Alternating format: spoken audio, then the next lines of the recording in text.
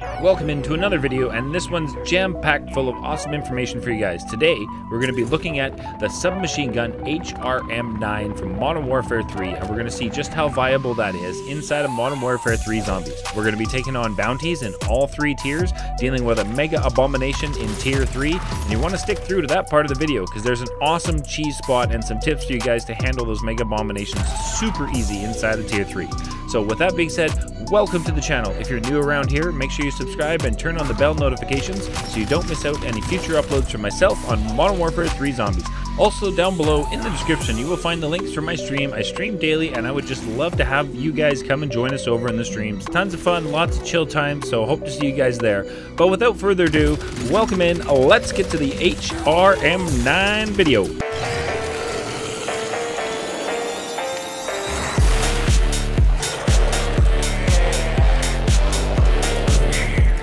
All right, so here we are. We're going to be spawning in with our HRM9 and we're going to be putting on our perks just to begin with with no weapon rarity, no pack-a-punch, and no ammo mods. You're looking at the HRM9 in Borealis camo with the new aftermarket optic that was added uh, recently is attached to the gun. So the build for those are always near the end of the video, so guys stick around for that if you want to see the build. Um, just want to say thank you again to the recent support on all of my recent format and videos. They've switched up to long form content now, so hopefully you guys are really enjoying that. I'm seeing some in the comments that people are really enjoying the, the videos and the new format for myself, so I'm really excited for that. Just wanted to say thank you.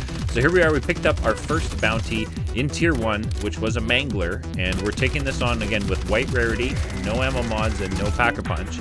And you, these are usually quite a struggle um, to deal with, just you know, with your base gun and nothing added onto it. But I have to say, this HRM9 was just destroying this mangler. I was really excited at this point to continue on testing and seeing how this video did. And those two self-revives came in clutch later in the video, so stick around for that to see when I had to use those. So we went and picked up our second uh, tier 1 bounty, and this time I wanted to put on the legendary tool and napalm burst um, like I always do before we take on our second bounty inside of tier 1, just to see how much of a dramatic difference it was. And holy smokes, I mean, I just about got rid of that Mimic bounty right there with one magazine. Um, so we just quickly backed away and finished off the Mimic here, made really easy work of that with the Legendary Tool and Napalm. So clearly at this point I was excited. I'm like, what can this HRM9 do? Like this thing is absolutely melting everything. And I've only got a legendary tool on it. Now I know it's a tier one bounty, but compared to what they normally are with, you know, no rarity and then with legendary, that was just melting him. So I was excited to go off and grab my second bounty for you guys, which was in tier two. Now, along the way, I wanted to show you guys, this is just legendary with napalm, just dealing with crowd control inside of tier two. I rounded up a whole bunch of zombies and let them come at me and pretty much tried to see if this weapon will let me stand here and just take them all down and a resounding yes. This gun is incredibly strong. So we we dipped into our little merc camp here. I don't think they were really pleased. Um, I just kind of ran in here and uh, stole the contract. Sorry, sorry, Bob. Sorry, Jim. See you all later. Gotta go. Uh, there's also loot here to check, so keep shooting. Just miss me. There we go. And uh, we just ninjaed that contract away from the mercenaries, which was awesome. So now we head off to the Mangler, and we're in Tier 2 with Legendary and Napalm on it. And again, fairly easy work from this. I didn't really feel threatened at all. Um, a nice little tip I have for you guys when you're dealing with your Mangler bounties is if you are getting critical hits on uh, his helmet here and he's chasing you down like this, you can see when I turn around and shoot him, he, I don't know what it is, but he just stops sprinting full speed as long as you're continuing to get uh, critical hits on him. You can see him right here. He just gets stuck trying to like swing his sword or something. So it's a nice way to deal with the uh, manglers in tier two, just make easy work of them. And we finished off our bounty right here with a nice little chest burst to the mangler, and away he goes. So we had to go and check the loot, because of course we're still trying to see what we get. Hopefully some good stuff in here. Uh, you know, zombies always being annoying when I'm trying to get into the reward rift and find out what it is I'm getting they just always seem to appear out of nowhere when you're trying to do that. So we got a tombstone can. Uh, I believe I either equipped that or stowed. I don't remember. So now we went to grab another tier two bounty, and this time I was really excited because we were going to be putting on uh, a pack one crystal, and I wanted to see how this would handle PAP one legendary with napalm. So here we are. We put on our PAP one crystal, and we're off to go deal with a mimic. So now we have a PAP one HRM9 you know, to be honest with you, at range here, I was expecting a lot more damage, um, but it is a submachine gun, so I guess I can't complain too much. And uh, the Mimic's electrical shot actually helped me eliminate this bounty as he knocked down all the zombies that were in front of him. It was absolutely perfect. Team drove by just as I cleared out my uh, Mimic bounty. Checked the loot. There was nothing in there that I wanted. And then, of course, as I'm in the reward rift, another Mimic shows up and decides to chomp on me. So I wanted to show you guys, you know, pack one, Mimic in tier two. Easy, easy work. So then, what's left to show you guys? A Mega Abomination in tier three. So we went and uh, saw my good friend here. Uh, I've decided to call him George. We're gonna take on George here at the Archways, and uh, he, he, this is easy work. Like I really destroyed him. I was really impressed. That's already one one mouth that he's opened up that I already shot. And now he started charging at me here, and I was impressed with the damage because he's doing his electrical attack attack here. And uh, silly me, I reloaded at the beginning of this attack. It wasn't this one. I think the next one, he downed me when he was trying to chomp on me. So that's where those self revives I picked up off our first bounty contract came in clutch for me right here. I, I stuck around for an extra chomp from uh, the Mega Abomination, and it was a chomp too many. Sounds like me when I eat cookies, by the way.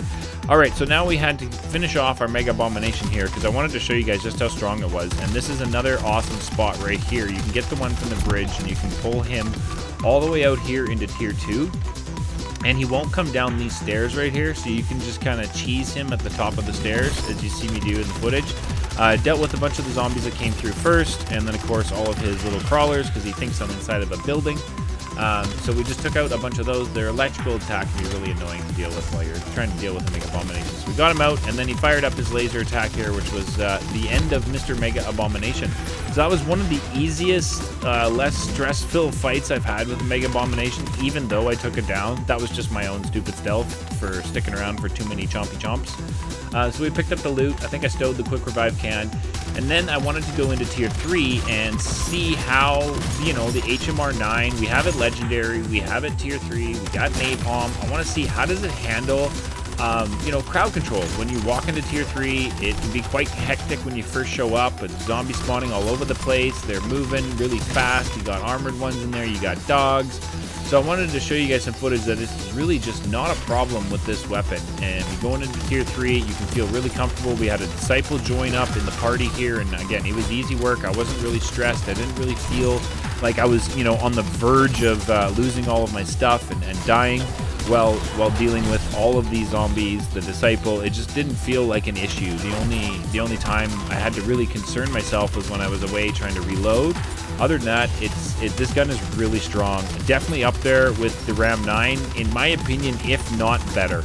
Uh, I really do did enjoy using this. I was pleasantly surprised at honestly just how strong this thing is and how it just absolutely destroys things inside of tier 3 everywhere. So now we went and picked up our tier 3 bounty, and I was really hoping this was going to be a Mega Abomination so I could show you guys just how strong this weapon is. So here's our Mega Abomination. Now I wanted to show you guys the cheese spot. I was hoping he followed me because this is an awesome spot to take your Mega Abominations in Tier 3 if they're going to follow you. And we had a second one over there. I was keeping an eye on him. I was hoping he stayed away for the moment. But if you can get him down here to these uh, this wooden stairs, I guess you'd call them. Yeah, wooden stairs here. It uh, it won't climb up. This is such a cheese spot for handling stuff inside of tier three. And you can see here, um, I threw a decoy to get myself up here, and then I realized there's no point in wasting ammo there. They're all going to funnel up here, and I'll be able to pick up the ammo that they drop right here on the stairs and just continue. So this was just an awesome, awesome way to survive Tier 3, make easy work of it. If you got to get a crowd control or whatever, and you're in this area, it's a perfect opportunity to just make easy work of the whatever it is that's chasing you. Now, our bounty made it over here, which made me really happy because he brought his electrical attack out, which is what we need Started with that, and uh, I believe I already popped one of his faces off right there. Like, already. This spot is so amazing. Of course, he does think you're inside of a building, so he's going to fire all those things up here. And I believe the zombies are throwing meat at me for some reason, even though I'm not even in a glitch spot or anything. So there's that to deal with. But it, overall, it's a it's a pretty good spot. I, I, definitely like using the spot for dealing with Mega Abomination, especially when they're the bounty contract and they have that extra health. Again, here I am staying in the way of the laser attack for way too long, just playing like an idiot. So threw out a decoy. I was hoping to get him to come towards me a little bit more so that I could get him closer. He started up another laser attack, took out a second head right there. As you can see, this is just such a cheese spot. And we brought his laser attack out again for another try, and I don't think I was able to finish him off right here. Oh, yes, I was. So that's your Mega Abomination bounty contract done, cheesed, and amazing loot. I was so happy. We got a PAP 3 crystal, we got a Juggernog can out of it, and then inside of the reward rift, we got another amazing loot as well. We got a PAP 2 crystal. So I was super stoked about that. That was just absolutely amazing. And then the second Mega Abomination decided that he wanted to come over and uh, test out my cheese spot and see how he did in the cheese spot. So, uh, bad news, he didn't do well. Uh, they never do. So, he came over here and uh, we're looking for him to do his laser attack. So, there's his first mouth there. Popped that one off already. Had to kill those little crawlies put down my energy mine just to deal with him if he decided to spawn him in. He popped off a second laser, which was not a good idea on his part. We popped off the second head right there. And then we're just waiting for him to finish up his third head. I'm waiting for the laser attack to come right here. So there, I see it coming, and we get ready to take out his uh, final head. There it is. And then we need just one more electrical attack from him so we can see that start. Unfortunately, I had to reload when that one came, so I just tried to shoot at him a little bit to trigger it, and perfect. He fired up his electrical attack, and we were able to finish off our second Mega Abomination in this just awesome cheese spot. Um, there was a epic tool there that I did manage to grab and stow. But again, I just wanted to show you guys, this is one of the spots I use when I'm needing to deal with Mega Abominations or I just want to have, you know, somewhat of a stress-free time within Tier 3. This is one of the spots I'll go to take advantage of. Uh, and use. Definitely, you can see it works well for the Mega Abomination contract. So we got our Epic tool and stowed it. The next thing to do was to head out. And on the way out, as I always do, I want to show you guys what uh, this does against Tier 2 bounties. So we picked up our vehicle. Uh, Fred, our friendly zombie here, suggested that I go pick up a bounty. So uh, we went and picked one up. I asked him if that was all right. Told him it was a disciple, and he said, let's go get him. All right, sounds good, Fred. So we went over. We got our disciple here in tier two and made just immensely easy work of this disciple. It just was absolutely nothing. I expected it to be a cakewalk, and it absolutely was. Uh, PAP 3, Legendary, Napalm, tier 2 bounties don't stand a chance against this HMR 9. Uh, it's been pretty awesome. So we went over and got the last thing we needed to show you guys is to absolutely wreck and delete a tier 1 bounty with our HMR 9. And check this out. Bye! Absolutely destroyed that mangler. No chance. All right, we managed to pick up a ray gun on the way out, and I wanted to show you guys, if you're at this particular exfil location and you're looking at places to drop off stuff for other players, that Sentry Circuit turret is where you're going to do that because they will not despawn in there.